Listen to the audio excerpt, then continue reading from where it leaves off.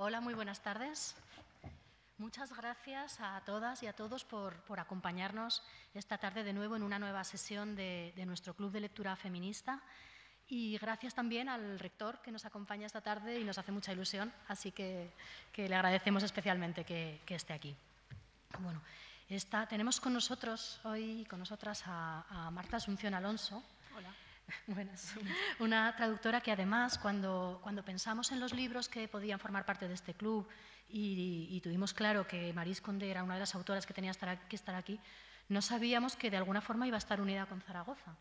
Y es que Marta, eh, además de ser licenciada, o sea, doctora en Filología Francesa por la Complutense de Madrid y haber hecho su tesis sobre Maris Condé, Marta estudió un máster eh, en esta universidad nuestra, un máster en Historia del Arte. así es. Y me contaba ahora que además el primer libro que, tradujo de Maris Condé, el que hemos leído, Corazón que ríe, lo empezó a traducir aquí en Zaragoza. Así que, bueno, ya todavía es... el círculo se cierra. más, redondo todo. Bueno, como, como, os decía, Marta es, doctora en Filología Francesa, una amante de la lengua francesa y de la cultura francesa, y, y una amante también de, esta autora, de Maris Condé, a la que conoció cuando estaba dando clase en las Antillas, en Guadalupe. Marta no es solo traductora, como si fuera poco, sino que también es poeta y además es una poeta reconocida y premiada. Tiene diez poemarios, creo, si no he contado mal, y, ha, recibido premios tan importantes como el Adonais, el Nacional de Poesía Joven Miguel Hernández, el Premio Carmen Conde y unos cuantos más que, bueno, avalan esa, esa, obra poética, así que también podéis leerla a ella y os animo también a que, a que lo hagáis. Como os decía, ha vivido en Francia, en Guadalupe, en Albania y en unos cuantos sitios, yo no sé cómo le ha dado tiempo a tantas cosas con lo joven que es. En Zaragoza. En Zaragoza. Eh, y bueno, como os decía, es una excelente conocedora de, la vida y de la obra de, de Maris Condé. Le dedicó una tesis doctoral ha, traducido dos obras autobiográficas suyas, esta que hemos leído, Corazón que ríe y Corazón que llora, y una especie de continuación, segunda parte, que sería La vida sin maquillaje. Pero además, esta traducción ha supuesto una inmersión en su mundo, en su lengua y en su forma de ver la vida que, ha sido pues, muy importante y nos lo va a contar ahora. Así que Marta, bienvenida a casa de nuevo. Bueno, muchas gracias. Eh, se me escucha bien, ¿no? Espero. Pues estoy muy contenta de volver a Zaragoza. No volvía desde que me fui, desde 2015 yo creo que me fui. Y cuando me fui, en efecto, estaba empezando esta, esta traducción de este, de este libro. el año que yo viví en Zaragoza fue el año de mi regreso desde las Antillas, desde Guadalupe. Eh, entonces, bueno, todavía venía con las islas puestas y efectivamente empecé a, a traducir este libro aquí y lo empecé a traducir eh, como un regalo, como un regalo a, a, mi madre fundamentalmente, porque mi madre no lee en francés y este libro es mi preferido de, de todos los libros de, de, esta autora, de Marie Condé, que es una autora que ha escrito, no sé si habéis tenido la, la curiosidad de, de mirar un poco su bibliografía y su vida, pero ha escrito más de 30 títulos, además de, géneros muy variados. ¿no? Ella ha tocado, eh, hola, ella ha tocado todos los, eh, todos los géneros menos eh, la poesía y, y ha escrito teatro, ha escrito novela, biografías, autobiografías, ensayo, tiene también una carrera académica brillante, ha sido profesora de literaturas francófonas durante muchos años en, en Columbia, en la Universidad de Columbia en Nueva York. Y bueno, pues yo eh, descubrí a Marie Condé eh, en un momento yo creo clave, clave de mi vida. Ella en este libro que, que habéis leído y que espero que hayáis eh, disfrutado, cuenta muchas cosas. Cuenta, por ejemplo, cómo descubre, casi por azar, ¿no? Cómo descubre que es negra. Ella no, no sabía que era negra hasta un momento muy, muy, que, que en el libro queda muy muy claro un momento de su infancia bastante, bastante traumático. Y yo descubrí a Marie Condé en el momento de mi vida en el que me, me enteré bastante tarde, con 20 y muchos, de que era mujer. ¿no? Y esto fue en el Caribe, cuando yo vivía en el Caribe, en, este archipiélago de Guadalupe. Eh, y bueno, cuando me vi confrontada a una serie de, de cosas que, que no conocía, ¿no? Pues machismo. El Caribe, parece ser, lo leí hace unas semanas en un artículo, es una de las regiones del planeta más violentas eh, y más inseguras del mundo para las mujeres. ¿no? Y mm, yo cuando vivía en esta isla, en, Guadalupe, daba clase en, en, un instituto francés, porque claro, Guadalupe es una región de ultramar, es un departamento francés, ¿no? es como si dijéramos una comunidad francesa. Entonces eh, yo daba allí clase para la educación nacional francesa y descubrí muchas cosas de las que no, no, tenía, no tenía ni idea. Y me paseaba por las librerías de la isla buscando libros escritos por mujeres. Y me sorprendía muchísimo no encontrar en las librerías de la isla, que tampoco eran tantas, en las estanterías, no encontrar libros escritos por mujeres. Y uno de los libros de los primeros libros que encontré pues era un libro de Marie Condé que se titulaba Le cœur à rire et à pleurer. Y lo recibí en ese momento ¿no? de, mi vida en el que me daba cuenta ¿no? que, que, había cosas que mis padres me habían dado por hechas, eh, me habían transmitido como certezas, ¿no? como que los hombres y las mujeres éramos iguales. Y, y, en el Caribe empecé a darme cuenta de que quizá no siempre, no en todas partes. Y, y se me empezaron a tambalear muchas certezas, ¿no? Me empecé a reconocer como mujer y en ese momento llegó Marie Condé a mi vida, ¿no? y, y, bueno, la traducción, no sé qué contaros, la traducción eh, me llevó bastante, bastante tiempo, os contaba que la, la inicié como un regalo a mi madre, Marie Condé también le dedica este libro a su madre y, y durante bastante tiempo estuve buscando casa para esta, para esta autora en España. Y fue difícil hasta que encontramos la casa, la editorial que apostó por, por ella. Y la verdad que creo que es una casa estupenda, ¿no? porque la edición espero que, que, también la hayáis apreciado pues, como objeto. ¿no? Eh, la verdad que son ediciones bellísimas.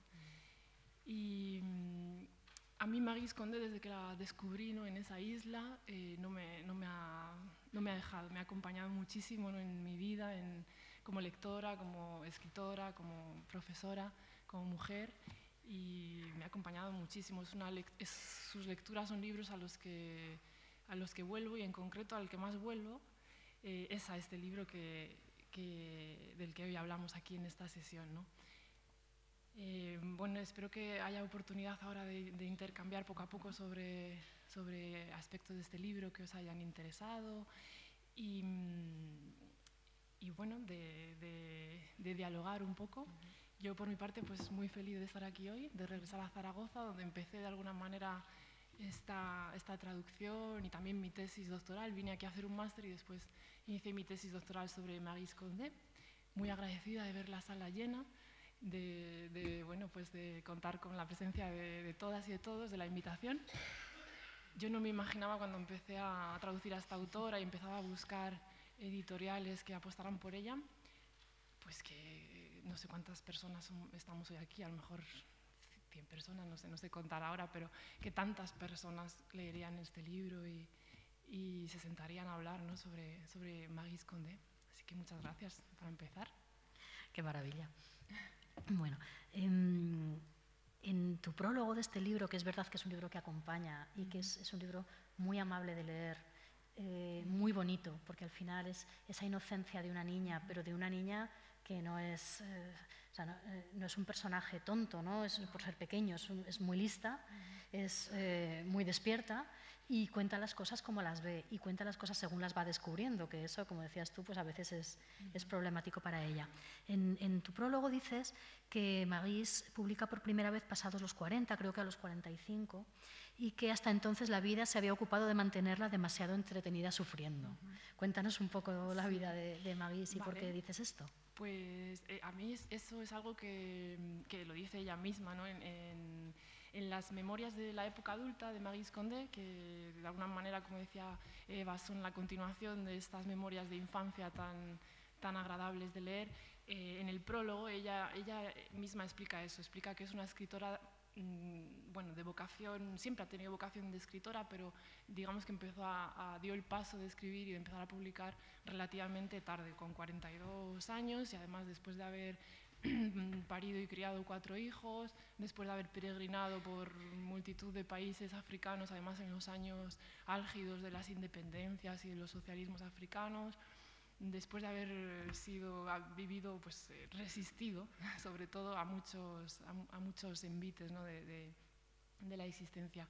Y efectivamente empieza a escribir eh, tarde em, y a mí me da mucha esperanza ¿no? esta frase, este aspecto de su biografía y, la manera en, en, la que ella lo cuenta, porque alguien que empezó a escribir con novelas con 42 años y que desde entonces no ha parado, ha escrito más de 30 y que creo que quizá eh, lo sabréis, ha recibido el, Premio Nobel Alternativo de Literatura en 2018 y bueno, eh, da mucha esperanza ¿no? a los que estamos intentando escribir y, mm, escribir novelas, es algo que da esperanza, ¿no? hay tiempo y, nunca, nunca es tarde.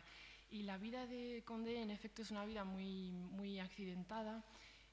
Eh, y yo en el prólogo retomaba una imagen que me gusta mucho, eh, una imagen que no es, no es, mía, la metáfora, la metáfora es de un poeta de Guadalupe que se llama Daniel Maximin y él hablaba en, en un ensayo muy bonito que tiene sobre, sobre las Antillas, sobre la, geopoética de las Antillas, él hablaba de las mujeres junco. Y en concreto hablaba de las mujeres junco de las novelas de Marie Condé. Y yo creo que Marie Condé es una mujer junco. Esto de las mujeres junco, eh, eh Maximin lo explica mm, de una forma preciosa compara a las heroínas de estas novelas, de Condé y a Condé también, pues con los juncos. ¿no? Si pensáis en la imagen del junco, el junco es eh, flexible, ¿no? Pero nunca llega a quebrarse. ¿no? Puede soplar a lo mejor un huracán y no llega a quebrarse, se, inclina. Además los juncos tienen una propiedad eh, muy bonita y es que al parecer no necesitan enterrar sus raíces en la tierra demasiado profundas. Y esto tiene mucho que ver también con, con Maris Condé. Maris Condé es una mujer, ella misma se define como nómada y apátrida. Ha vivido en muchísimos, en muchísimos lugares, ha vivido pues, en, su Guadalupe natal, de allí pasó a París, a la metrópolis, luego se marchó con un bebé eh, de meses en los brazos a, a África, a la aventura, ha vivido en Ghana, en Costa de Marfil, en Guinea, en Senegal, y luego regresó a Guadalupe en un momento dado de su vida y, bueno, se, significó mucho políticamente. Luego fue a Estados Unidos, ha impartido clases en Nueva York hasta prácticamente pues, eh, su jubilación forzosa por, por, enfermedad. Y su vida es, apasionante. Ha, ha, sufrido mucho, es una mujer que ha sufrido mucho y eso está muy presente en su obra pero también eh, lo que a mí más me emociona de su obra es cómo ese dolor convive con, con una manera, o con un goce, con, una manera de, estar en el mundo muy gozosa. ¿no?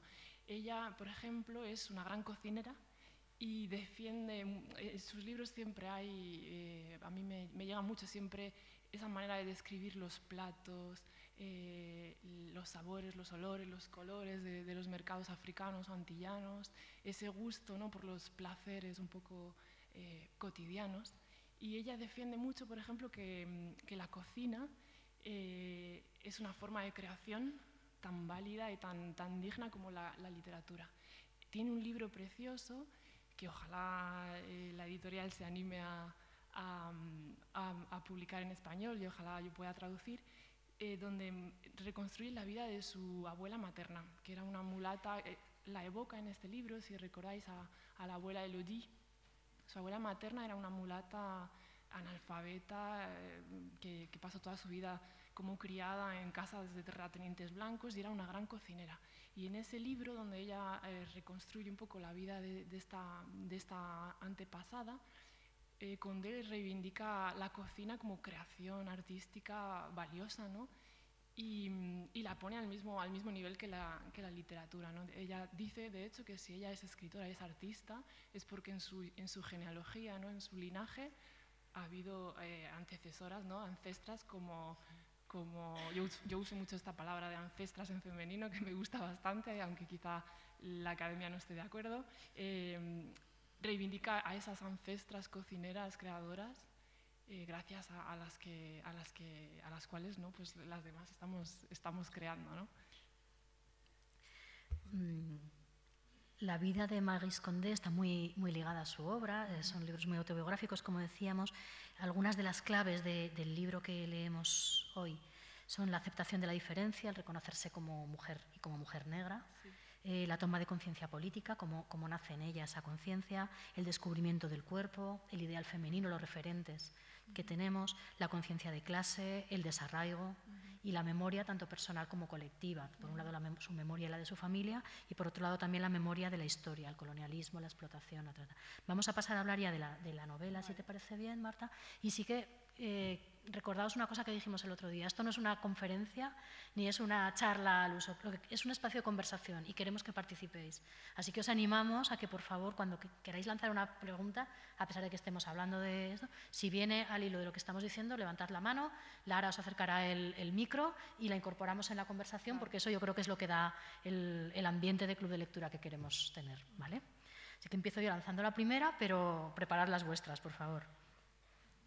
Em, ¿Cuánto hay de verdadero y cuánto hay de ficción en este libro? Marta, vamos a empezar ubicando esto. Vale. Pues yo creo que el, kit ¿no? de este libro está ahí, está precisamente ahí. Si habéis leído, mm, a veces pasamos un poco por alto por todo lo que rodea al, texto en sí, ¿no? Si habéis leído el, el subtítulo que lleva el librito, que no figura en la portada, pero figura eh, pues por aquí, ¿no? el, subtítulo ya es muy revelador. Cuentos verdaderos de mi infancia. Y ya es una paradoja, ¿no? Porque un cuento, eh, en principio, es una fabulación, es algo inventado, ¿no? Eh, pero ella los califica como cuentos verdaderos. Ahí ya hay un juego interesante. Yo creo que mm, es precisamente el, juego un poco de este libro y también algo esencial en toda la literatura condeana, que es, que es eh, totalmente real cuando uno recuerda. Podemos recordar nuestra vida con total objetividad, ¿no? desde el momento en el que nuestra vida, nuestra experiencia se basa en, nuestra vivencia subjetiva y además está el paso del tiempo ¿no? que influye y que, nos hace mm, reconstruir los recuerdos de determinada manera. Ese es el juego, yo creo, de este libro. Además, no, no, habría que olvidar que ella escribe este libro, el original en Francia se publica en el 99, en el año 1999. O sea que ella ya era una mujer bastante mayor. Y es, eh, vuelve la vista un poco hacia, hacia su primera infancia y un poquito la preadolescencia al final, ya con esas crisis finales de preadolescente total, ¿no? esos eh, enfados con la mamá. Y pues es recordar cosas que, que, pasaron pues hace pues 70 años fácilmente, ¿no? 60, 70 años. Entonces el juego de este libro está ahí, ¿no? De hecho los, los recuerdos, cada capitulito habéis visto que es un recuerdo así fundacional de su infancia y cada capítulo tiene un título que podría ser pues el título de un cuento, ¿no? Y, y se pueden leer, yo cuando leo y releo este libro, a veces pues lo abres y relees a lo mejor un, un capitulito del, del, centro o del final. O sea, se pueden leer como cuentos independientes, como, pues, mm, sí, son recuerdos, pero también son, son cuentos, ¿no? Hay algo, desde luego, de fabulación. Y algo que ella mm, dice mucho en, en muchos otros títulos de su bibliografía es que ella cita mucho a, autores como Marcel Proust, que precisamente toda su literatura se basa en, ese problema de recuperar el pasado, cómo podemos recuperar eh, el pasado. Y mm, hay una, cita en concreto de ese libro del que os hablaba antes, de, el libro dedicado a su, a su abuela, a Victoire Elodie, eh, en el que ella dice, bueno, eh, mm, básicamente así, parafraseando, viene a decir lo siguiente. Mm, donde la memoria no llega, ahí es donde entra, entra en acción la, imaginación, ¿no? Hasta donde la memoria llegue, ok, y los huecos que queden ya los rellenaré yo con, la imaginación, ¿no? Y, yo creo que es lo bonito también, el encanto de, esta, no sé si es pregunta o saludo, saludo, eh, el encanto de, esta, de este libro, ¿no? de esta memoria de infancia, que no se sabe muy bien, que es verdad y que porque además con esa ficción no solamente rellena los huecos de su memoria, sino que rellena también cosas que ella no, no vivió, como la historia de sus padres o de sus abuelas, que ahí también tiene que fabular un poco. Porque... Y, su nacimiento, hombre, ya estaba allí, pero no recuerda, recordáis el capítulo del nacimiento, ¿no? que lo cuenta realmente como si fuera una testigo... y hay una novela que eso va a salir en esta primavera, creo, que acabo de terminar de traducir, que se titula La deseada, que empieza eh, con un nacimiento narrado de esta manera, un poco recuerda mucho a este, a este capítulo de las memorias de infancia donde ella relata su nacimiento. Eh, empieza con un parto, esta novela, y, parece que, que, la bebé que están haciendo estaba al mismo tiempo observando el nacimiento y, que era pues, un testigo en primera fila de ese, de ese parto. Bueno, es que además ese nacimiento y tal como lo cuenta en la novela es por un lado súper cinematográfico porque te estás imaginando los tambores fuera y las contracciones de la madre a la vez, todo junto, pero además también es un poco una metáfora de lo que es su vida después, ¿no? porque ella nace, empieza a llorar, pero su lloro, sus lágrimas no se oyen porque están sonando la, alegría de la calle, de la vida. ¿no? Entonces es un poco el, cómo la alegría y el humor se superponen encima siempre de su tristeza y de su pena, y eso cuando cuenta episodios duros en sus libros lo notas, que le pone un punto de humor para quitarle un poco de gravedad al asunto. Sí, sí, es muy irónica. Eh, esta autora es muy, muy irónica. En la, en la vida también, en el trato personal, tiene una manera de estar en el mundo muy irónica, una, una sonrisa siempre, eh, incluso cuando está hablando pues eso, de algo muy duro, muy serio, es, es, es, realmente inherente yo creo a ella como persona, como autora. Y esa novela que os comentaba, que sale esta primavera, La deseada, se inicia también, que no os lo había dicho, con un parto, igual que el de Maris, ¿no? un parto en un, martes de carnaval con los tambores. Por eso yo en el prólogo de este libro decía que, cuando uno lee estos recuerdos de infancia, después se adentra un poco en el resto de novelas, ¿no? con una serie de claves que, van a permitir interpretar pues, muchas cosas y muchas situaciones y, y, bueno, desencriptar un poco todo ese universo condeano.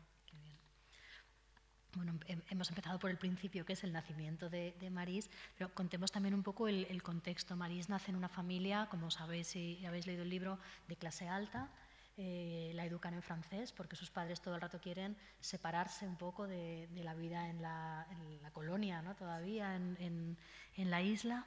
Eh, se empeñan, sus padres hacen mucho esfuerzo, ponen mucho esfuerzo en que ella se sienta superior porque ellos son superiores, ellos son una clase que están por encima de los demás.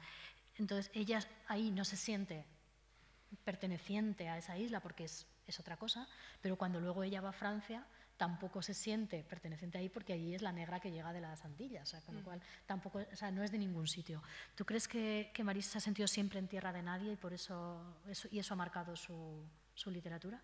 Sí, sí, sí, ella es muy inconveniente en ese sentido porque no se deja clasificar y yo creo que es lo que más me apasiona, una de las cosas que me apasionan de esta autora es que no se deja clasificar bajo ningún molde, resiste a todas las etiquetas habidas y por haber.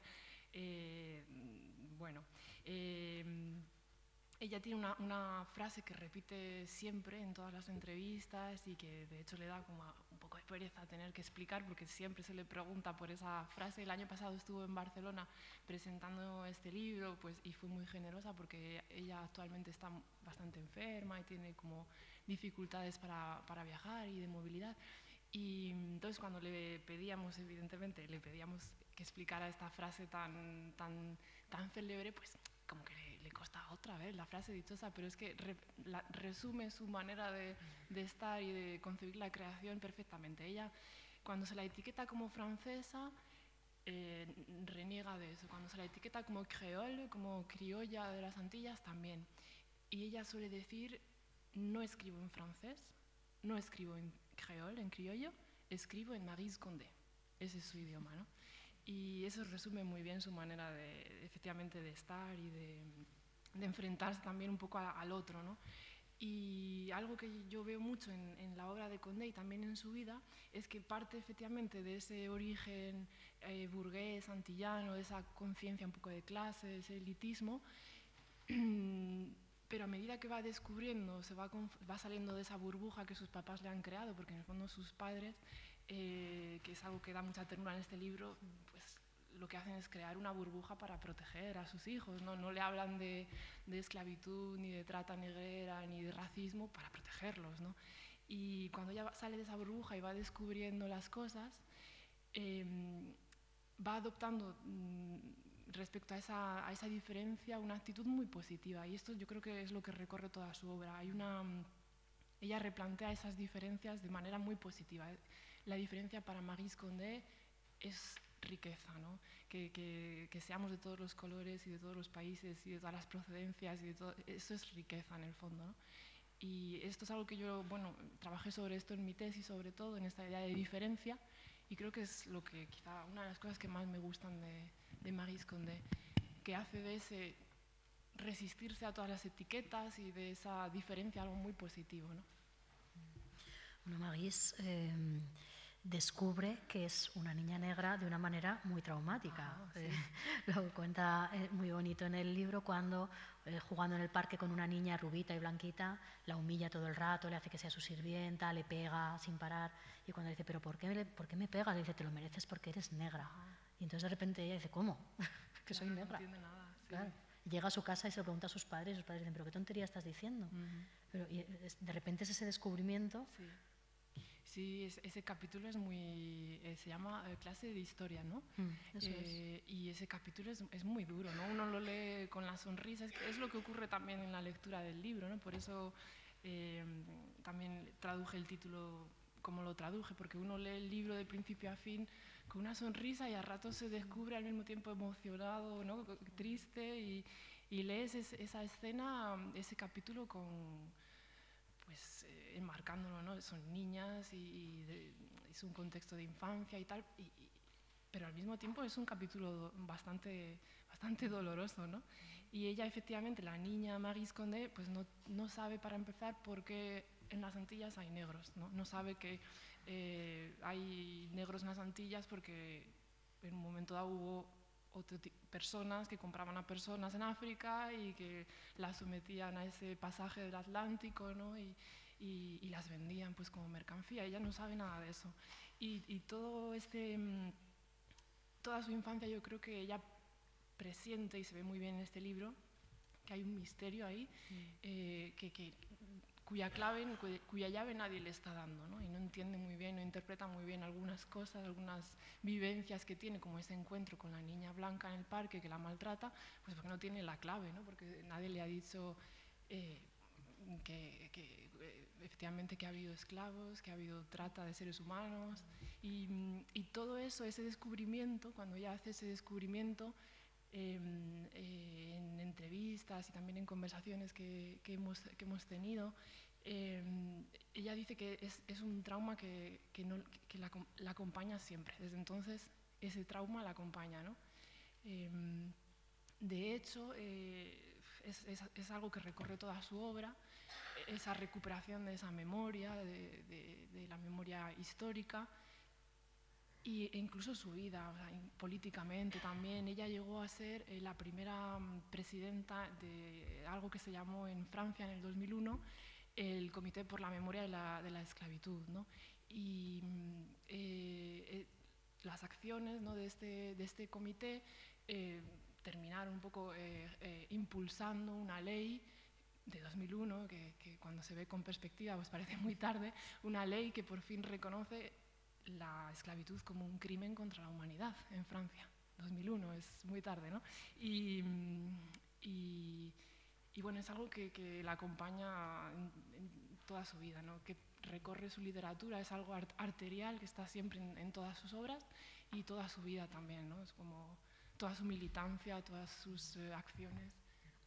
Y por un lado, ella descubre en una experiencia tan traumática que, que es negra y lo que ocurre con los negros y descubre que no son, porque ella pensaba hasta entonces que eran negros los que nacían ahí porque, nacía, porque ahí se nacía así, Como las flores.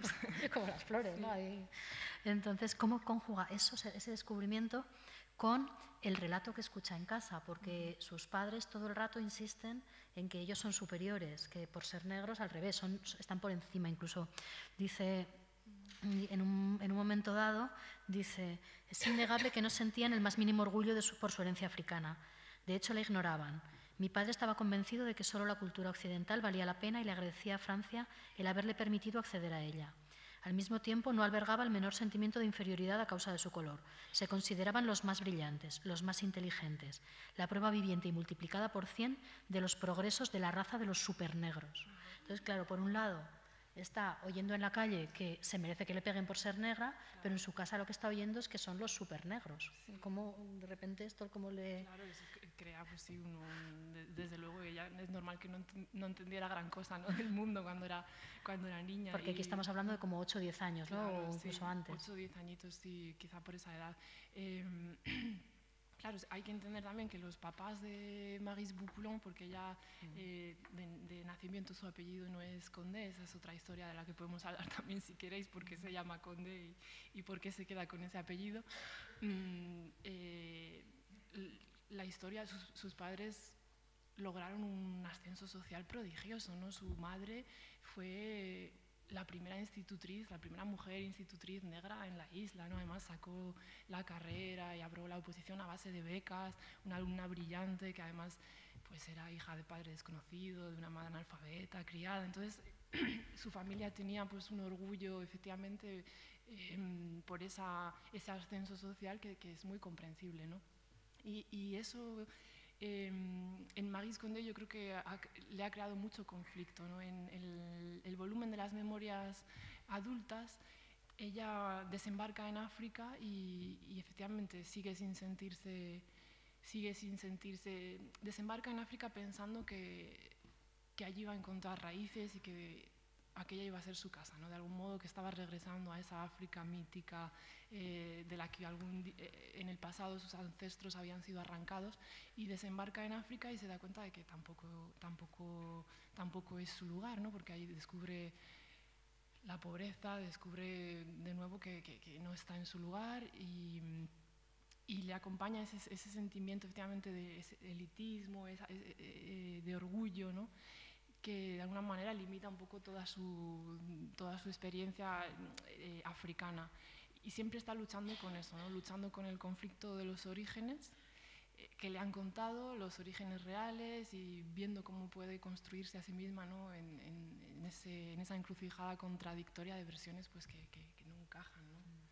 Y apuntabas también el, el origen de su familia y el origen de su madre, que procede de una familia no humilde, sino muy pobre, de una madre mm, abandonada por un hombre, pero también hija de su abuela, que también violada y abandonada. Eh, dice a Elodie, la había, la había violado un desconocido y 15 años antes un capataz de la zona había violado a su madre, es decir, viene ella de, de, una tradición, y a las dos las abandonaron con el bombo y con solo dos ojos para llorar. No, no hay nada más, no, jamás tuvieron nada suyo, ni siquiera una chabola, ni siquiera una tumba porque acaba en el panteón familiar de la familia a la que sirve. ¿no? Entonces, de ahí que mi madre temiera tanto tropezarse con las mismas piedras y sobre todo que la tomaran por una persona ordinaria, que no se valorase todo lo que había conseguido ella solita.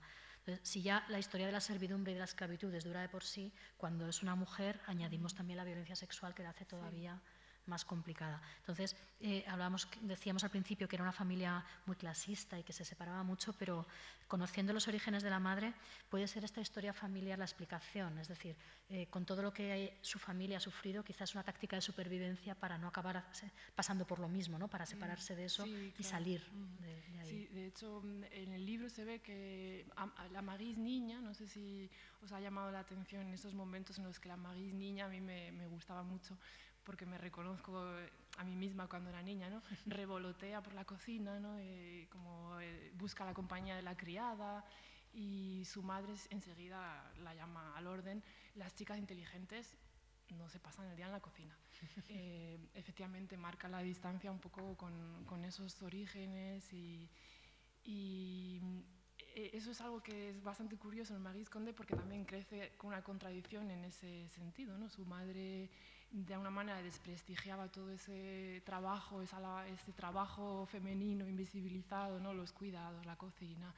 Y, y, a Marie Kondo le gusta, ¿no? De hecho, nuestras conversaciones suelen ser recetas, siempre de lo que más hablamos son de recetas y, de, y a Marie Kondo le encanta. Y mm, eso también es un conflicto, ¿no? Eh, eh, un conflicto más eh, que, se, que se suma a su, a su, a su identidad.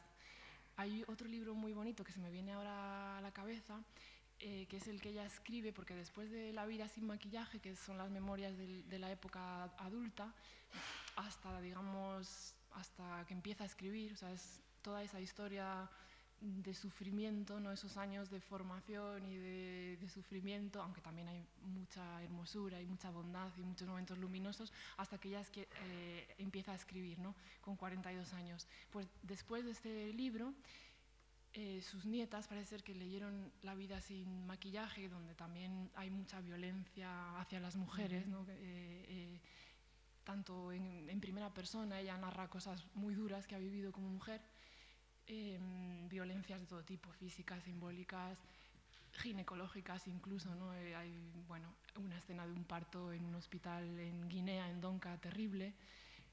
Y, cuando sus nietas leyeron este libro, se quedaron horrorizadas. Y, le y claro, le dijeron, pero abuela, eh, entonces la vida es terrible y no merece la pena. Y entonces ella escribió un libro que es muy bonito, que es una biografía culinaria, de, muy feliz. Es una autobiografía felicísima de su vida culinaria, a través de sabores, de platos, de recetas que han sido mm, fuente ¿no? de, gozo y de felicidad en su vida. Em, y de alguna manera es conectar un poco eso también, ¿no? es eh, homenajear a esa abuela de la que la madre, de alguna manera, se, con, respecto a la que la madre marcaba distancias, ¿no? porque porque las chicas inteligentes no, no se pasan el día en la cocina, ¿no? homenajear a esa abuela y al mismo tiempo eh, perdonar un poco a esa, a esa madre ¿no? que, que, renegaba de esa abuela. Y, y, como tú decías antes, ella sabía que había como incógnitas y conflictos, pero no sabía las respuestas, pero yo creo que también ella desde muy pequeña intuía que todas esas respuestas a cosas que sus padres jamás les contaban estaban precisamente en esa gente como la criada, la cocinera, que son, eran la gente más pegada a la vida, que, ella sabía, intuía que había otra vida por ahí y que sabía que eran ellas las que le daban la clave y quizá eso la llevó a acercarse a la cocina y a, los, a las tareas más domésticas. Mm, esta autora, cuando la descubrí con, con, este libro, con Corazón que ríe, me recordó mucho de alguna manera a Toni Morrison. Y me recordó mucho también a, una escritora nigeriana que me gusta mucho, que se llama Chimamanda Ngozi. Mm, y, hay un capítulo en este libro que enlaza mucho con un librito pequeño que tiene que ver con una charla TED de Chimamanda, que se llama El peligro de una historia única, que, mm, Chimamanda lo que cuenta es que a Nigeria los álbumes infantiles que llegan son británicos. Entonces, claro, los referentes que tiene ella y las cosas que lee son británicas. Entonces, cuando ella empieza a escribir sus pequeños cuentos, cuando es pequeña, pues eh, comen manzanas, que claro, en Nigeria una manzana no la han visto en aquella época por lo menos nunca. Ahí había mangos y papayas, pero no había, no había manzanas. O ponía frases en boca de sus personajes que decían, qué bien, por fin tenemos un día de sol en Nigeria, cuando no hay otra cosa que no sean días de sol. ¿no? Pero claro, de repente se da cuenta de que está leyendo una realidad que no es la suya y que si quiere escribir no puede hacer eso, tiene que escribir sobre las cosas que ve y las cosas que le rodean. Y, esto lo cuento porque enlaza con, un pasaje muy gracioso de, Corazón que ríe, cuando su vecino le manda una carta para declararse, pobre Gilbert, tan mono, que, le dice, tus hermosos ojos azules. Y entonces ella se queda así, dice, pero ¿cómo que ojos azules? ¿Pero tú a quién estás escribiendo? Sí, eso es muy bonito. Y entonces él, claro, confiesa, es que esto es lo que he leído, yo me he fijado para escribir esta carta de amor, yo me he fijado, y siempre dicen esto. Entonces, esa visión sesgada de la vida, porque lo que reciben es solo eso. ¿no? Es lo que hacemos un poco todos, ¿no? cada cual desde nuestra circunstancia, cuando empezamos eh, a escribir, pues copiamos modelos, efectivamente. ¿no? Yo cuando empezaba a escribir, escribía en masculino, ¿no? he empezado a escribir en femenino hace poco. Entonces, eso también es algo que conecta mucho conmigo de, de, de la obra de Condé. Mm, y, yo creo que es algo que ella reivindica mucho en toda su, en toda su escritura, ¿no? ese contar las cosas desde la coordenada propia, desde el cuerpo propio, desde la experiencia propia. algo muy curioso de Condé es que ha, hecho incursiones en todos los géneros, creo que os lo he dicho al principio, menos en la poesía, ¿no? que es en el que yo más me muevo, que es curioso, y, y, quizá por eso me gusta también tanto esta autora, ¿no? porque... Eh, nunca ha escrito un poema y está muy orgullosa de ello. y, ella ha hecho incursiones en géneros como la literatura infantil y juvenil. Y hay un librito, el que me acuerdo ahora, cuando te escuchaba hablar, me estaba acordando de un librito eh, que se llama eh, Víctor, y las barricadas. Víctor y las barricadas. Entonces es un niño de Guadalupe que está, de alguna manera, desde el principio sientes que está abocado al fracaso escolar, porque claro, eh, te describe al niño en clase aprendiendo historia con manuales que le hablan de sus ancestros los galos. O sea, un niño negro de las Antillas en Guadalupe. Y él pues, no entiende nada. ¿no? Y, vas viendo a lo largo del librito, que es muy cortito porque es una novelita infantil, que ese niño efectivamente no entiende nada y cada día está más lejos de, pues, del maestro, de lo que está pasando en el aula, hasta que al final un día se echa a la calle y termina mezclado en una serie de conflictos urbanos, en unas huelgas en Pointe-à-Pitre, en, en, Guadalupe, y claro, entiendes efectivamente que, que, que, ese niño en concreto no entienda nada y acabe saliéndose del sistema, porque cuando le hablan de sus ancestros los galos es un poco como cuando a Maris le dice su vecinito, su pretendiente, que está enamorado de ella por sus ojos azules, ¿no? No entiendes nada, no es tu, tu coordenada, no es tu referente, no, efectivamente no es tu historia, ¿no? Es la historia que te han, que te han impuesto, es el, vestido en el que te han obligado a entrar, que esa es otra frase que no sé si se os ha quedado, pero a mí desde luego se me quedó desde la primera lectura, ¿no? De la identidad no puede ser un vestido en el que una tenga que entrar sí o sí, ¿no? aunque no sea tu talla, aunque no sea tu estilo, aunque eh, tiene que ser más bien algo hecho a medida, un vestido hecho a medida que además te vas confeccionando durante toda la vida, ¿no? que nunca es algo cerrado y estático e, inmutable. Pues que esa identidad precisamente es otro de los temas, o el tema importante en los libros de, de yo creo. Mm, precisamente, si antes decíamos que descubre que es negra en ese episodio, eh, hay un momento que en el libro cuenta también otro episodio fundacional, que es cuando está estudiando en París, en este liceo tan tan en el sí que es muy elitista, tan elitista. Y entonces ya cuando va a acabar el curso la profesora le dice, venga, pues mañana nos cuentas tú un poco algo de literatura de tu, de tu tierra, así como sin saber muy bien qué es eso de tu tierra, ¿no? de ahí. Y entonces ella se pone a pensar, no sabe nada de la, de la literatura de su tierra, pregunta a su hermano, al final acaba leyendo un libro que le abre los ojos, pero no le abre los ojos a la literatura, sino a a la historia de su tierra, porque, claro, de repente en su casa no le ha hablado nadie de la esclavitud, de la trata, de la opresión, del tráfico de esclavos, de nada. Y entonces de repente lo descubre a través de un libro y empieza a trazarse esa identidad y empieza también a descubrir que tiene conciencia política y que es algo que va a ser muy importante en su vida a partir de entonces. Sí. Claro, no le han hablado ni de trata, ni de esclavitud, ni de, ni de, ni de esa faceta de la historia, pero tampoco le han hablado, y eso es algo que ella lamenta en La vida sin maquillaje tampoco le han hablado de, otras cosas, otros aspectos ¿no? que, quizás son más felices, como el wuka. El wuka es, eh, en, el corazón que ríe, creo que se evoca en varios momentos. El wuka es el tambor, es varias cosas. Es, eh, es el tambor grande que se utiliza en, las celebraciones de carnaval, pero también en las veladas eh, nocturnas de canto y de baile. También es el ritmo y también es la danza tampoco le han hablado de eso, ¿no? Ella no sabe, no sabe bailar ritmos eh, caribeños porque sus padres le, le han, le, de alguna manera le han privado de eso. Tampoco sabe nada de cocina antillana. Ella, es curioso, lo cuenta en La vida sin maquillaje, eh, prueba por primera vez especialidades así muy típicas antillanas, eh, casi en París, en la residencia de estudiantes, porque convive con otras antillanas. ¿no? Ella, pues, efectivamente come manzanas de Francia y come... Entonces le han privado también con esa historia única también de, quizá de, cosas, de cosas hermosas. En La vida sin maquillaje hay un pasaje con el que yo me siento bastante identificada, que es eh, Maris ya es eh, una joven mujer y está totalmente inmovilizada un poco por los, los celos y, y, un poco la rabia en, en una discoteca parisina donde todo el mundo está bailando eh, salsa y son cubano y compa haitiana y ella está inmovilizada, agarrada a su copa en la mesa porque es que no sabe, no sabe bailar nada, porque ella no sabe que, eso existía. ¿no? Y, y, bueno, no sé muy bien, creo que he olvidado la primera parte de tu pregunta, pero... estábamos hablando de la identidad, o sea sí, que la identidad, bueno, pues eso, que quizá la identidad, em, eh, como decíamos antes, algo que se construye ¿no? de manera, durante todo el viaje, durante todo el viaje. Bueno, ¿Alguien tiene alguna pregunta? Porque estamos creo aquí. Que sí, porque... Venga. Ahí, Lara.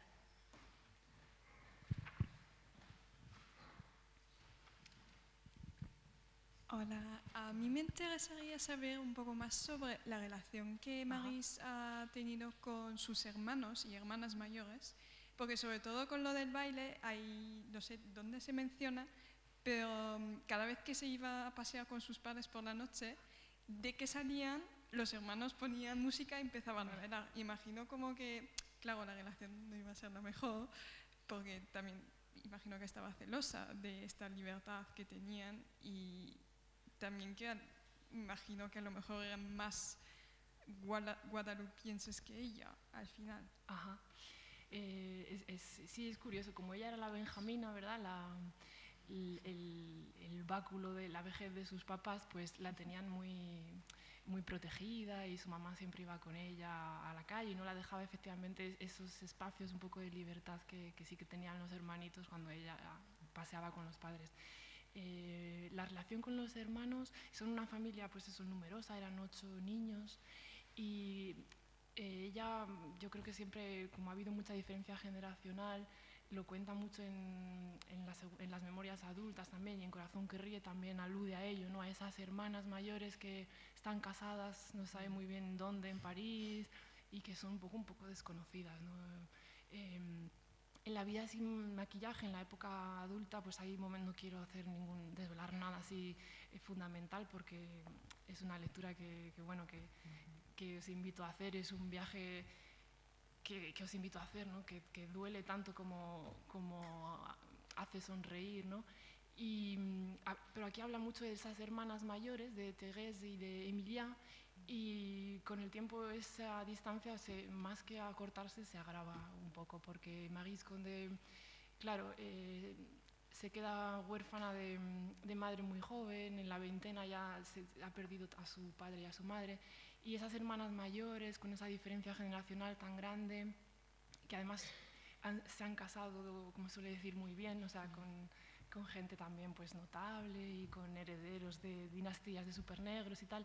Mm, cuando Marie Condé empieza pues, a dar ciertos tumbos, ¿no? buscando esa libertad, pues la distancia se agrava, sus hermanas no reaccionan muy bien. Ella, por ejemplo, se casa, tiene un bebé mm, siendo estudiante, se queda embarazada muy joven, tiene un bebé eh, siendo estudiante, su primer hijo, el padre la abandona y el padre resulta ser, eso no, no desvelo quién es exactamente, pero es alguien muy importante, un líder muy importante de, de haitiano y entonces las hermanas no, no entienden a esa, a esa hija, a esa, a esa, hermana pequeña que, que, que, está dando tumbos, ¿no? Entonces después de verse con su bebé abandonada, ella opta por un poco recuperar un cierto estatus ¿no? en la sociedad, casándose un poco así a lo loco, con, casi no voy a decir con el primero que pasa, pero casándose en cuanto puede y entonces las hermanas no, entienden nada, no aprueban ninguno de sus, de sus pasos y el hermano con el que ella conectó de verdad, que es ese hermano escritor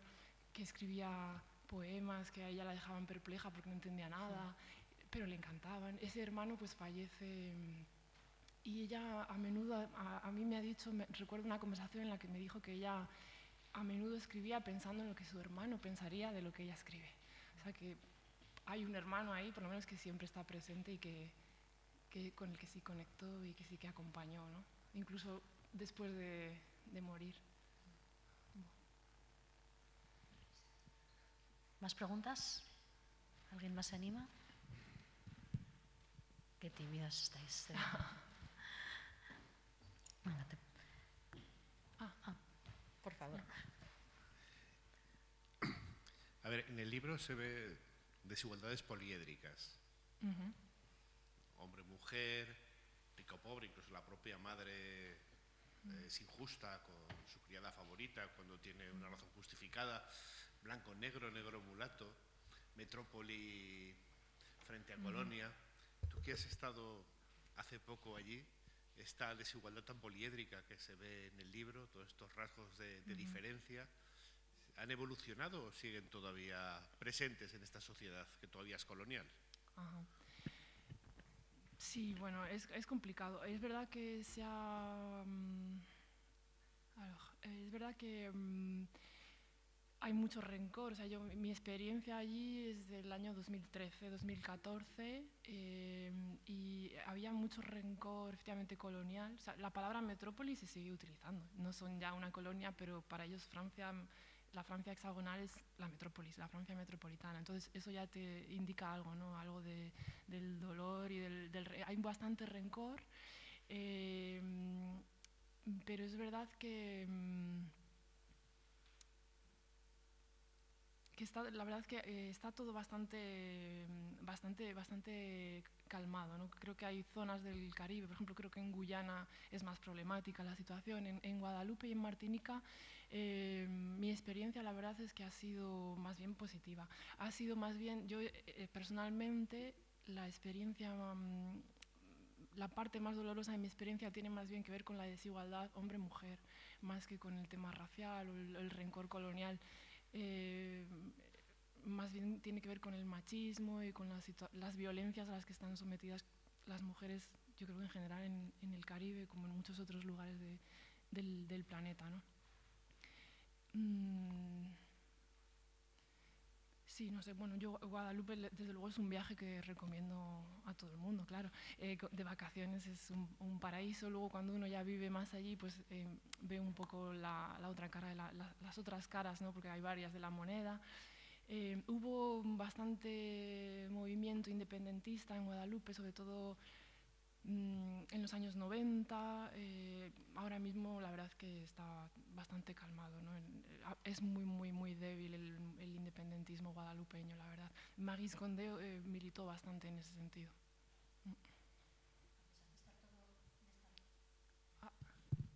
¿Ahora? Sí.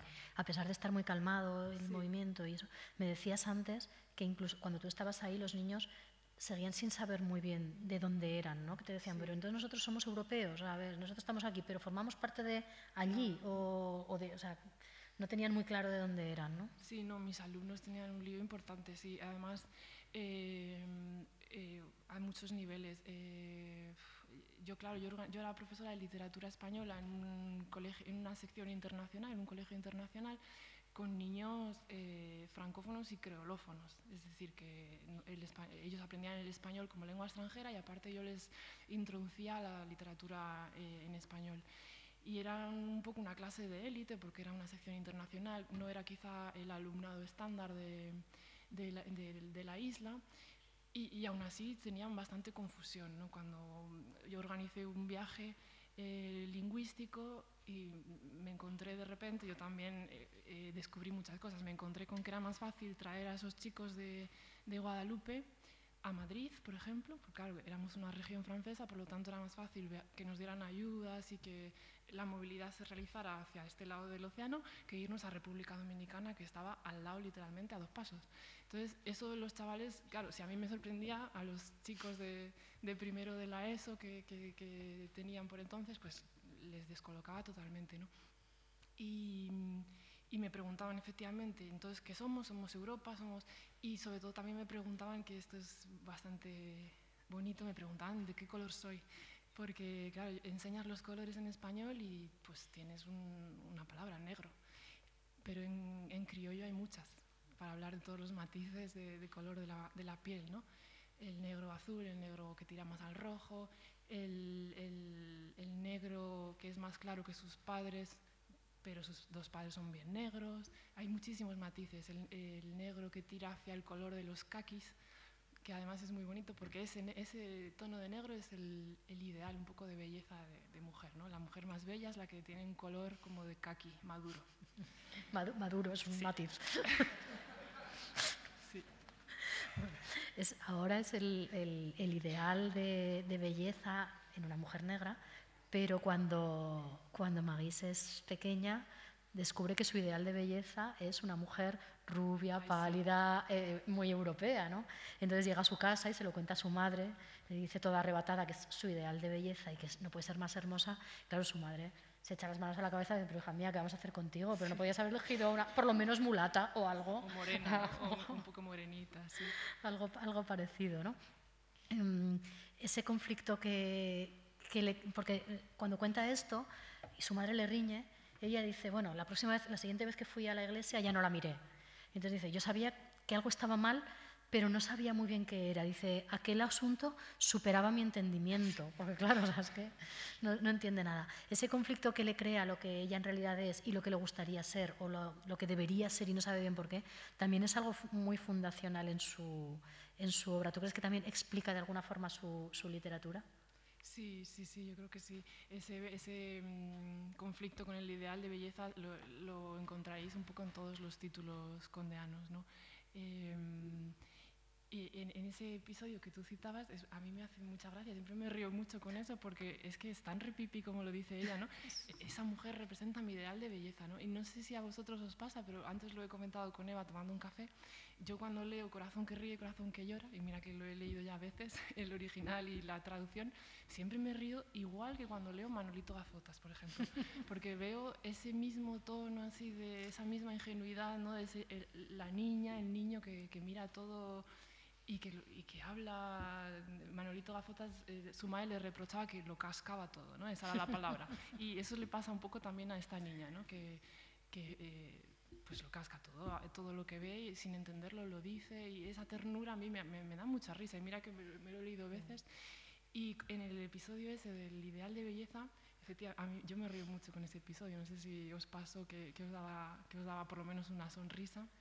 Y está un poco en todos sus libros, ¿no? el, el, conflicto también entre el, el modelo de mujer eh, canónica, pero no solo físicamente, ¿no? lo que se supone que las mujeres tenemos que ser y, o parecer y hacer, y lo que, bueno, pues donde una de verdad se reconoce y se, se construye, ¿no? Eso está en toda su, en toda su obra, sí. Decías que, cuenta las cosas con esa inocencia y esa ingenuidad, pero a la vez con ese desparpajo, ¿no? que, como Manolito.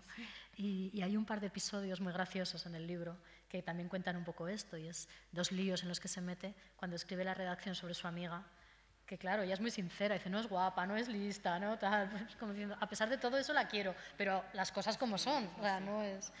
Y cuando escribe el poema a su madre, que lo mismo, la retrata de una manera muy cruda, la madre llora, la madre está unos días muy dolida y tal, ¿no? Entonces, de repente dice, ese incidente, el incidente con su amiga no me había bastado para aprender la lección, que no hay que decir la verdad, nunca, nunca, no a los seres queridos hay que retratarlos siempre con los colores más luminosos, sacarlos favorecidos, hacerles creer que son lo que no son. ¿Tú crees que eso de alguna forma conforma su carácter literario? Es decir, si ella se da cuenta que tiene que disfrazar la realidad para no hacer daño, para contar las cosas, para... Pero yo creo que esa cita en concreto que has leído hay que leerla con muchísima ironía. O sea, en realidad está diciendo lo contrario. Escribir tiene que ser todo lo contrario. Justo... Decir la verdad, aunque duela, aunque, aunque la maestra te castigue, aunque... y eso también lo explica ella mucho, en, por eso la idea de traducir las dos partes de sus memorias como puerta de entrada ¿no? a este universo condeano me parece muy buena, porque ella lo explica muy bien en estos dos volúmenes, lo que para ella debería o lo para ella es la literatura, no quizá para otro autor sea otra cosa, pero para ella es buscar la verdad de manera infatigable, incansable y y narrar la, la, vida sin maquillaje, ¿no? que es lo que, lo que explica en el, en el prólogo de, a, a, la continuación, a Corazón que ríe, Corazón que llora. ¿no? Escribir tiene que ser mm, decir la verdad aunque, aunque duela y aunque... Porque al decir la verdad, eh, aunque duela, e, e, ese, mm, ese mecanismo ¿no? de buscar siempre la verdad y de indagar ahí, eh, también te va a permitir apreciar otro tipo de cosas eh, con, mucha, con mucha claridad. ¿no? Lo que duele va a doler mucho, pero lo hermoso va a ser también mucho más hermoso, ¿no? cuando uno narra desde ahí. ¿no? Eso, ella, ella, lo explica muy bien en, en, este libro, en La vida sin maquillaje. Y yo, bueno, yo intentaba explicarlo también en el prólogo y encontré una imagen que yo creo que, que, que puede ser eficaz para entender eso. ¿no? Cuando uno se cuenta a sí mismo o se mira en el espejo sin maquillaje, pues evidentemente te vas a ver las arrugas, las patas de gallo, todo, te vas a ver todos los defectos.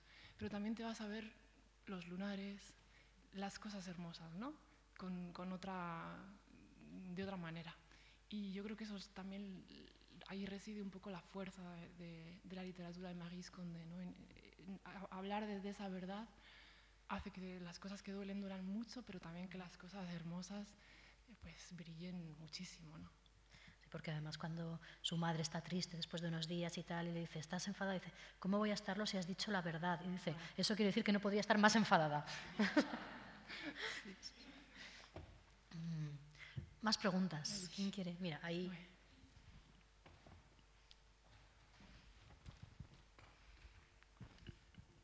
Bueno, lo primero de todo, felicitarte por tu labor de traductora. Bueno, gracias. Creo que es una suerte el poder tener a la traductora, porque normalmente los encuentros, como suelen ser con los autores, Claro. a veces nos olvidamos de esa parte tan importante que realizáis. Bueno, Y ahí me interesaría saber un poquito las dificultades que has encontrado, porque sé que es una tarea muy ardua y muy complicada al traducir a Maris Condé.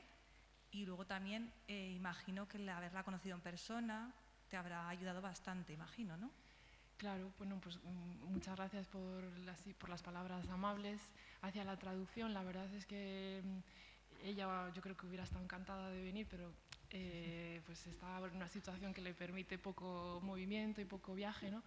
Y mm, eh, la verdad es que la traducción, lo más difícil de la traducción, y quizá yo ahí jugaba con ventaja, es un poco esa cohabitación que hay entre el francés que no es francés, el francés de Marie Condé no es el francés de los representantes de la ley, como escribe una otra escritora guadalupeña compatriota de Marie Condé, no es el francés de Tours, que se suele decir que es el francés más puro de, de Francia, como el español de Valladolid, no es ese francés, es otro francés con otra coloración, es, es otra cosa. E- ese- la cohabitación de ese francés con esa oralidad, porque hay muchísima oralidad en, en todas las obras eh, de Condé, eh, la oralidad y, y esos destellos de creol de Guadalupe. El criollo de Guadalupe eh, no tiene apenas que ver con otros criollos, el de Haití, el de Guyana, el de Martinica, cada criollo es un mundo. Entonces lo más difícil era un poco mm, respetar eso o trasladar eso, ¿no? que, que, esa oralidad, esa cohabitación un poco de lenguas, hay mucha polifonía en, en las obras condeanas y lo más, yo ahí estoy satisfecha, no sé, me, me- me- diréis a ver qué, qué- pensáis, pero eh, claro, la- la primera, mm, la primera disyuntiva que se plantea es qué hacemos con esas palabras criollas, ¿no? Las, las, eh, eh, busco equivalentes exactos en español o dejo que suene, porque en el texto original suena el criollo y a un lector francés se le ponen los ojos igual de grandes que a un español cuando ve esa palabra, porque un francés estándar quizá no sepa nada de criollo. ¿no? Entonces, eh, en el original de Condé había mm, una serie de, mm, nada, eran 10, un, un mini glosario final con 10 palabras, pero en el texto había muchas más de 10. Entonces, ¿qué hacías con eso? ¿Cuántas notas ponías? ¿Cómo las explicabas? ¿no? ¿Cómo respetabas un poco ese sabor eh, caribeño, antillano, ese color de la lengua creol?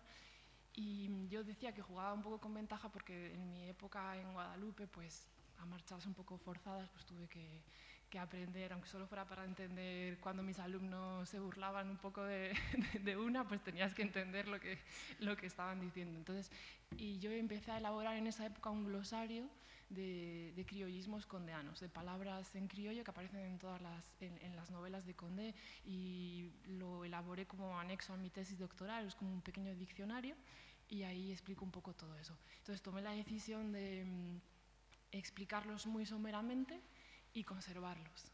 Eh, excepto a lo mejor en algún momento en el que traduzco em, eh, algún árbol en concreto, eh, a lo mejor he traducido, en vez de dejar la palabra en criollo Guadalupe, he buscado un equivalente a lo mejor en, eh, en- en español de República Dominicana, por ejemplo, para algún árbol o para algún fruto en concreto pero siempre respetando un poco ese, ese sabor así caribeño, ese, ese referente.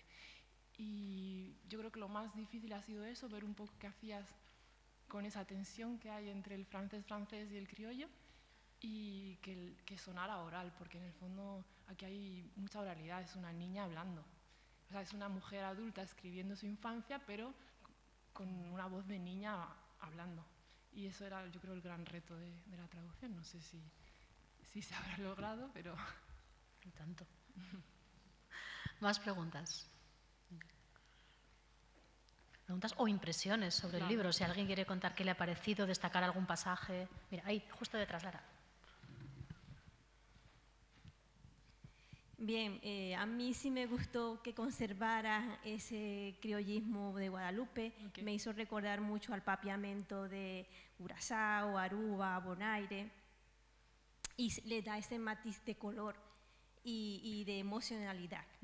A mí me llamó la atención en el primer capítulo, es la narración cuando las otras mujeres le iban a visitar cuando estaba embarazada, ¿no? Mm. Entonces yo decía, a ver, ¿será que le pregunto a la madre, cuéntame cuando estaba embarazada?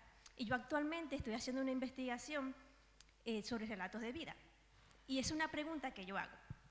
Cuéntame si tu madre o tú le has preguntado cuando te estaba esperando, ¿qué te decía?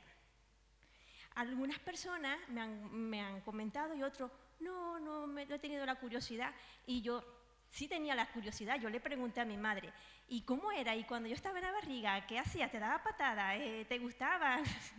Entonces, esa parte de, también hasta de sororidad, ¿no? Cuando dice, eh, le contaban las cosas que pasaban en la comunidad porque ella estaba prácticamente recluida en su habitación, eh, el ver todo la lencería o las cosas que le había comprado al bebé. Entonces, pues yo me imaginaba toda esa tertulia eh, colorida, de, el ambiente, el calor, porque yo vengo de una zona donde es bastante calurosa, entonces digo, bueno, eh, no había aire acondicionado, ¿no? Desea un ventilador, o sea, pues que, que, tiene mucho, mucho colorido y mucho gusto, o sea, me ha Ajá. gustado mucho esta parte.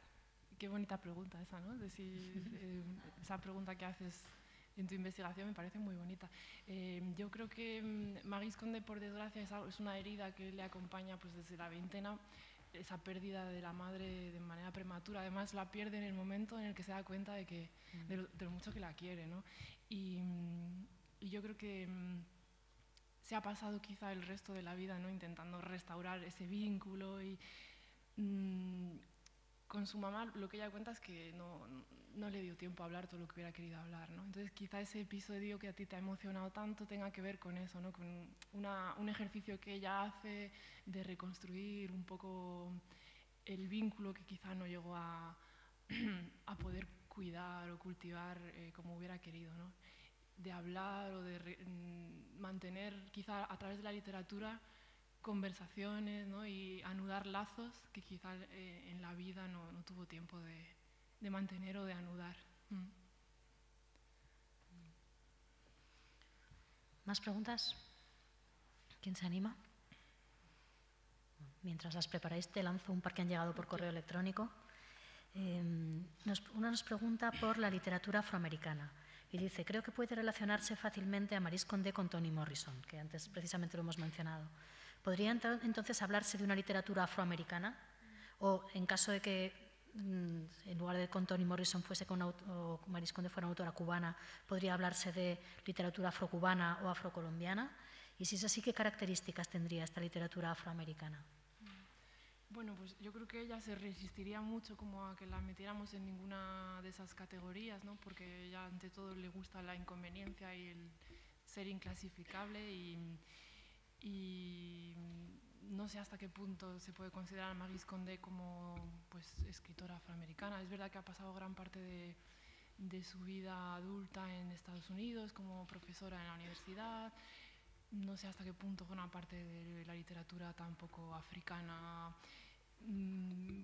Yo siempre hablo de, de literatura condeana, ¿no? Ella, ella se define a, a sí misma así, ¿no? Como, como un problema y, y reivindica esa, esa diferencia, como decíamos al principio, como algo valioso y algo, eh, algo rico, ¿no? Como una, una riqueza. Eh, eh, con Toni Morrison me consta que, que la admira y que se han conocido y que se, se apreciaban. Ese capítulo que nos provocaba sonrisa, ¿no? el de los ojos azules, de hecho el título le dejé en inglés para reenviarnos con claridad a, a ese libro de Toni Morrison, eh, Los ojos azules, ¿no? es un guiño a ese, a ese libro. Mm, yo creo que la literatura de Maris Condé es condeana ante todo, ¿no? es, es bastante difícil de, de encasillar. Y fíjate que a mí, además de Toni Morrison, me parece que está muy emparentada con Maya Angelou, por ejemplo, y con la propia Chimamanda, que también la comentábamos antes. ¿no? Sí, Son- sí, sí. También son autoras que de alguna manera han estado preocupadas por la historia y por la memoria anterior, algunas directamente por la esclavitud, otras más por, en Chimamanda más por la guerra en Nigeria, por ejemplo, la guerra de Biafra, pero eh, la- eh, todas tienen esa preocupación por lo que ha pasado antes para explicar, explicarse ellas y explicar lo que pasa ahora. Mm, Nos preguntaban también por lo que, lo que ha preguntado ya una de las compañeras, por los términos en criollo y por, por esa, esa dificultad de la traducción salpicada de esas palabras. Y también nos preguntan si van a publicarse alguna de las novelas de esta autora, porque hasta ahora solamente se han publicado estas dos memorias. Mm, tú apuntabas antes que sí, pero cuéntanos un poco más. Pues sí, yo creo que alguien ha traducido algo más. Eh, hay algunas traducciones que seguro que podéis encontrar en bibliotecas públicas que son setenteras o de los años 80, eh, pero que se encuentran, ¿no? que quizá habría que revisarlas, pero que están bien, eh, pues sobre todo pues si, si, no se puede leer en, en, francés. Hay una traducción, no sé si es de los años 80 o 70, de eh, una novela bastante histórica que se titula Tituba, La bruja negra de Salem. Mm. Esa, mm, es, es quizá ese libro es el bestseller americano de Marie Condé. A Marie Condé es curiosísimo, en, Francia mm, pues quizá no le han hecho todo el caso que merecía, en Europa quizá tampoco, pero en Estados Unidos se estudian los textos condeanos en las universidades em, con fervor y, y, realmente en el mundo anglófono y estadounidense Marie Condé es una autoridad muy, reconocida. Eh, y ese libro, el de Tituba, que recomiendo, que ojalá podamos retraducir y, actualizar y, ojalá. Em, eh, es muy interesante. Yo siempre he pensado que allá había una película, una serie de Netflix, en fin, lo que, todo lo que se quiera, porque cuenta la historia de mm, una esclava negra de la isla de Barbados que va peregrinando por diferentes, eh, diferentes dueños, diferentes amos, y al final no desveló nada porque lo dice el título, termina siendo juzgada por bruja en los juicios de Salem, eh, en el contexto este de la sociedad puritana inglesa y eh, toda esta locura ¿no? de los juicios eh, de Salem. Y mm, a mí me encantaría poder traducir esa novela, lo que de momento no, no lo sé. también me encantaría poder traducir ese libro del que os hablaba antes, Victoire, la vida de la abuela, ¿no? refabulada y reconstruida. Y lo que sí es seguro es que eh, en esta primavera yo ya entregué mi traducción y bueno, se está revisando y estamos eh, en el proceso hacia, hacia, la imprenta de una novela que se titula La deseada. Eh, en francés esta novela mm, em, se titulaba Desirada y ahí el título al final quedó, mm, para mí era una buena cosa traducirlo como La deseada porque por un lado reenvía una isla, Guadalupe es un archipiélago y hay bastantes islas y, la isla de la Desirade, eh, que se traduce como la deseada en español, eh, esa isla en concreto em, es una isla que se usaba como, como presidio eh, para presos políticos y, también como leprosería, en fin, es una, una tierra de exilio dentro de, ese, de, ese, archipiélago. Eso por un lado. Y por otro lado, eh, esa novela que podréis leer esta primavera narra las historias entrecruzadas de tres generaciones de mujeres de esta isla de, de, la, de la, deseada, eh, tres generaciones de guadalupeñas que luchan pues, por su libertad, por la ascensión social, por emanciparse, por realizarse y por, por existir, ¿no? luchan por existir como, como mujeres libres. Y esa novela seguro que, dentro de poco la, podréis leer. Espero que ojalá, ojalá hubiera más, claro. Hay, desde luego hay muchísimas, hay más de 30 títulos, no, no sé si todos se llegará a traducir, ojalá, pero, pero de momento la deseada seguro.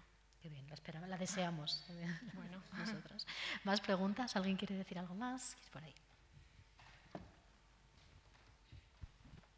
¿Es entonces más fácil conseguir las traducciones en inglés? ¿En inglés hay más libros traducidos? Sí, mira, su, su, esposo, mm, eh, bueno, actual, el segundo esposo que tiene, que es el que le ha acompañado de toda su vida, desde que le encuentra en, en La vida sin maquillaje, asistimos al momento en el que se encuentran y que es un poco el momento en el que ella empieza a escribir y, y su esposo que se llama eh, Richard Philcox es un británico que mm, es el traductor de todas sus obras al inglés. O sea, las obras completas de Condé están traducidas por su esposo al inglés. Seguro que encuentras todo, vamos.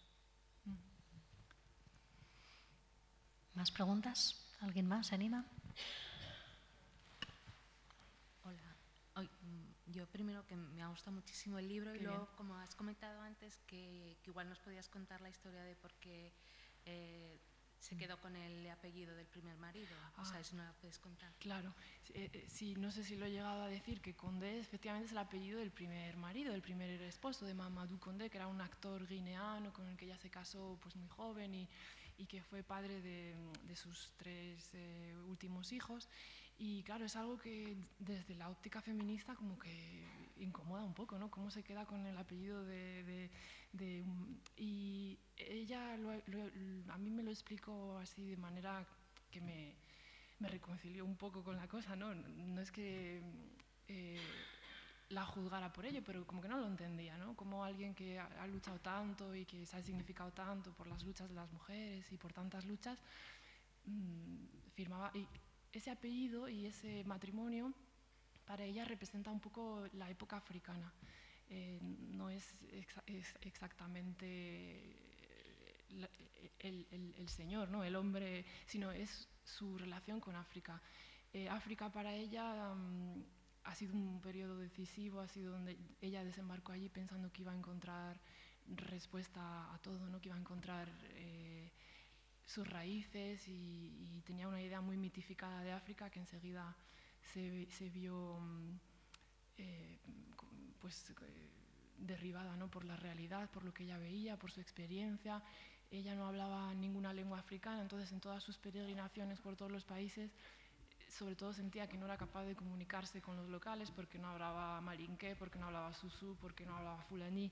Entonces, eh, todo ese aprendizaje, ese, ese, conocimiento de África sin velos y sin, mitos, que al mismo tiempo eh, coincide ¿no? con su autoconocimiento como mujer y con su realización y con su maternidad y con sus años de forja como mujer y como, como creadora, eso es lo que para ella representa ese, ese apellido, ¿no? los años africanos.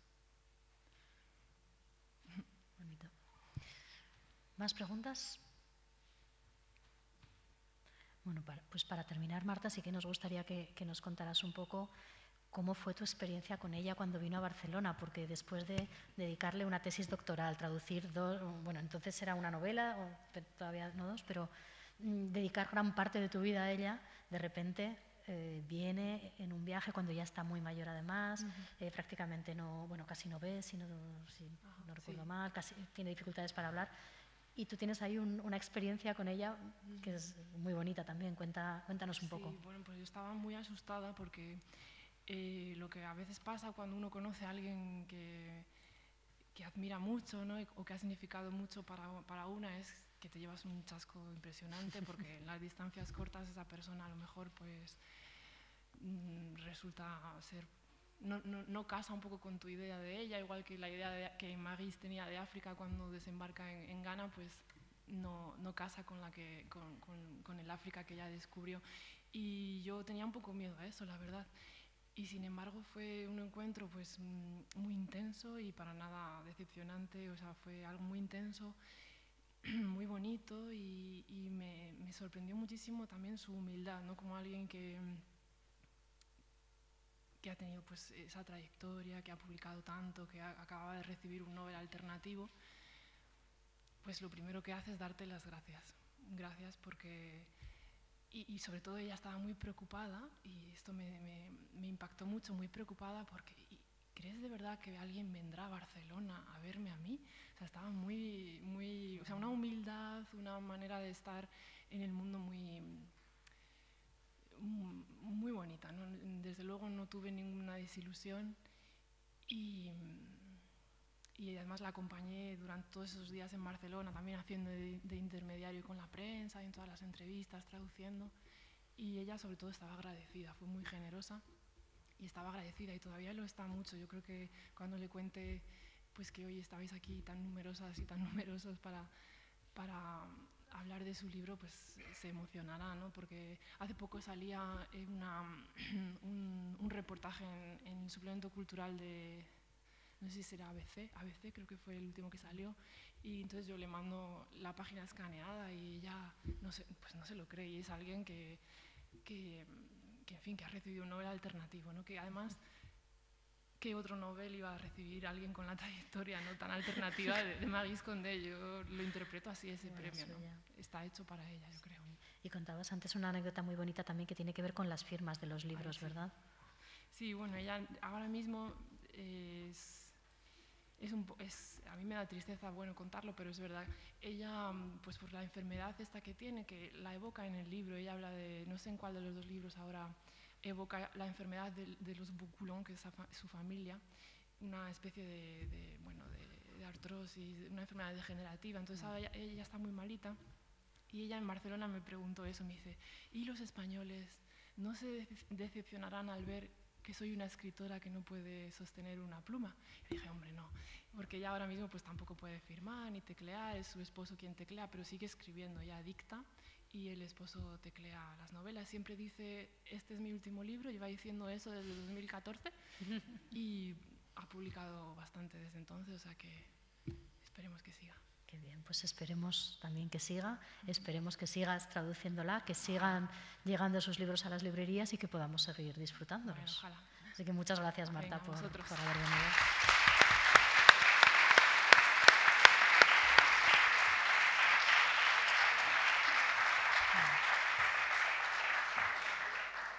Bueno, el- el- la lectura del mes siguiente es Los secretos que guardamos de Lara Prescott. Es uno de los libros que cuando empezamos con el club todavía no había salido a la venta, pero ya está en las librerías, así que ya podéis ir a, comprarlo. Y antes de contaros las claves del libro, que voy a, voy a, ser muy rápida, sí que quiero decir una cosa que también enlaza un poco con, con Impedimenta, que es la editorial que ha publicado los libros de Maris Condé.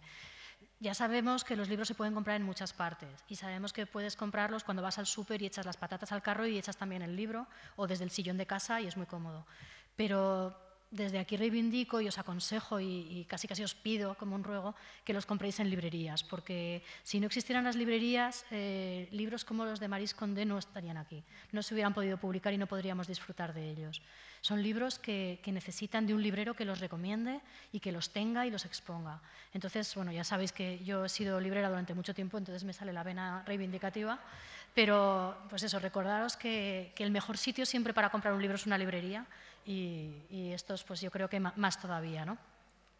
La novela que, que, leeremos al mes que viene se titula Los secretos que guardamos y, y, mezcla dos temas que precisamente creo que son los dos temas que nos unen en este club de lectura, que por un lado es el amor por los libros y por otro lado es el, el feminismo, las historias de mujeres fuertes.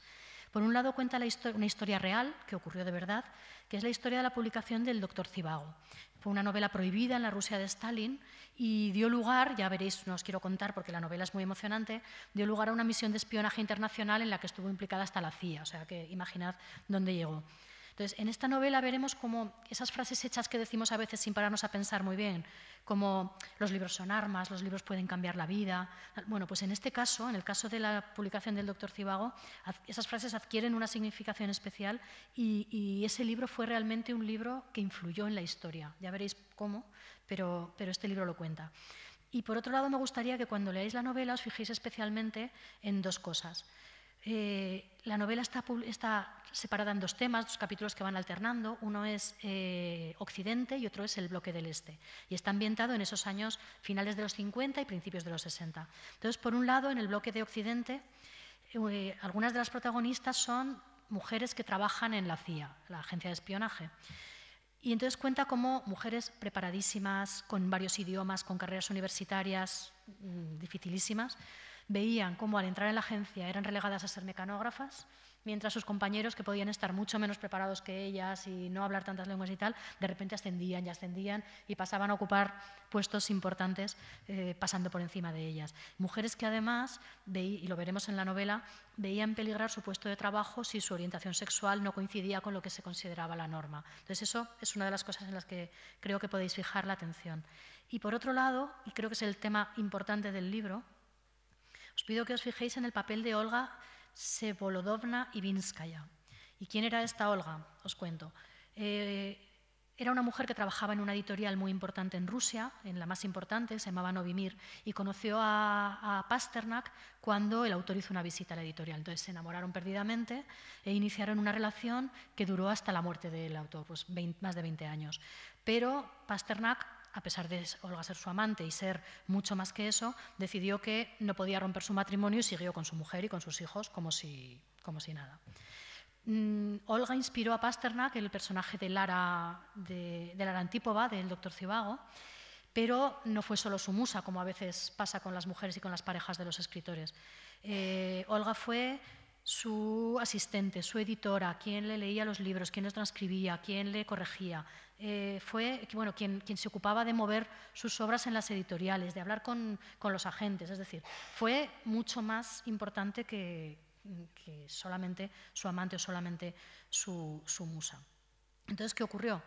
Que bueno, Pasternak sabéis que con Doctor Cibago se hace muy famoso, gana el premio Nobel, tiene que rechazarlo porque en Rusia le dicen que si sale a recogerlo no le dejan volver a entrar y además tomarán represalias contra su familia. Entonces, claro, la comunidad eh, internacional está muy pendiente de lo que pasa con Pasternak, no van a permitir que pase nada. ¿Qué ocurre con el gobierno de Stalin? Que decide tomar represalias con Olga. Y Olga va al Gulag dos veces por, eh, a causa de su relación con, con Pasternak. Entonces, todo esto lo cuenta la novela y yo creo que es una novela que, por un lado, cuenta esa historia de la publicación del doctor Cebago muy interesante, pero sobre todo lo que hace es reivindicar un personaje como este de Olga, que no es nada conocido, que cuando vemos documentales sobre Pasternak nunca se menciona, pero que fue pues, una parte importantísima en, su vida y en su obra. Así que, bueno, nos vemos al mes que viene, que disfrutéis de la lectura y muchas gracias por haber venido.